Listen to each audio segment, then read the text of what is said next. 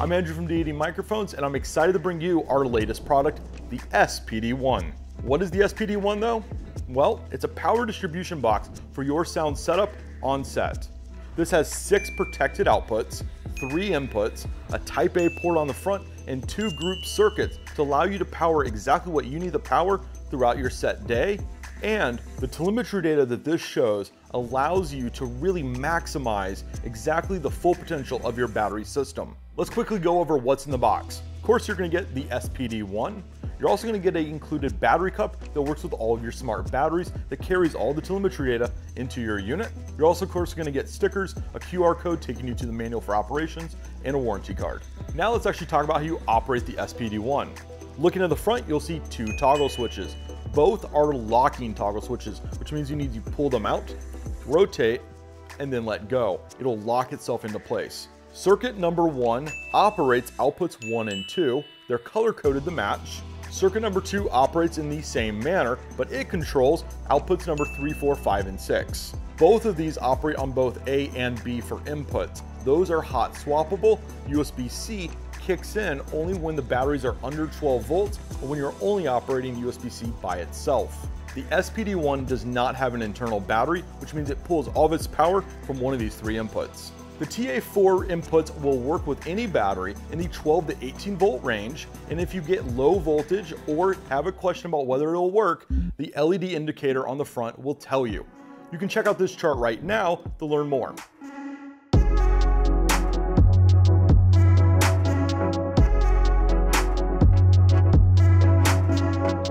Let's not forget though, this also has USB-C as an input and you can see that LED right next to it you need to be operating on the 12 volt USB-C standard. Check your power supply or power brick to see if it delivers that.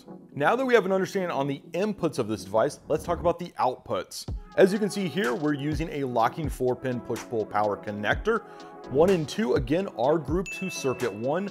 5 amps max is shared across both of them, so you can actually power even the most demanding of sound recorders.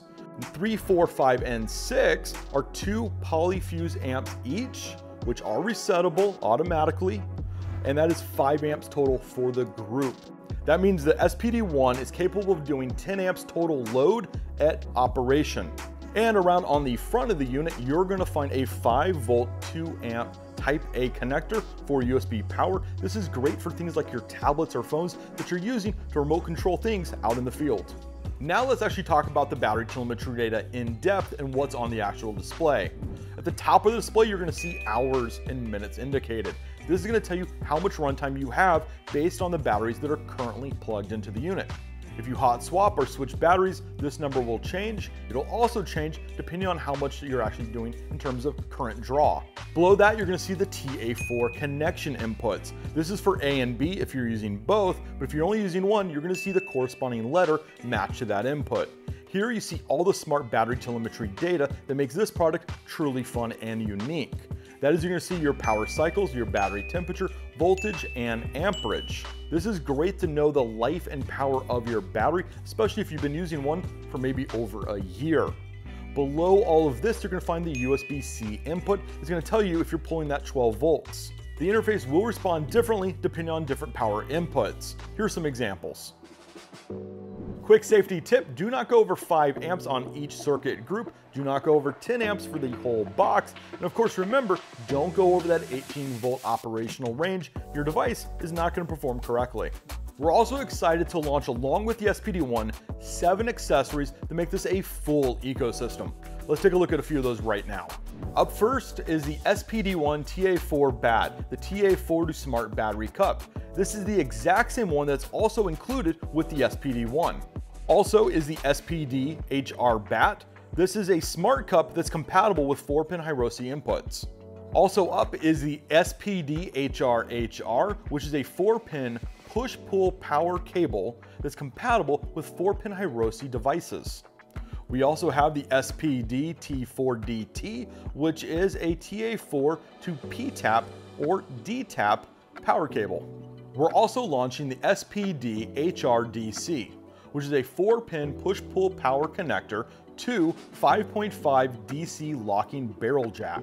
We're also excited to announce the SPD HR ISO, an inline power isolation box that allows you to power device by removing the ground from the original power source.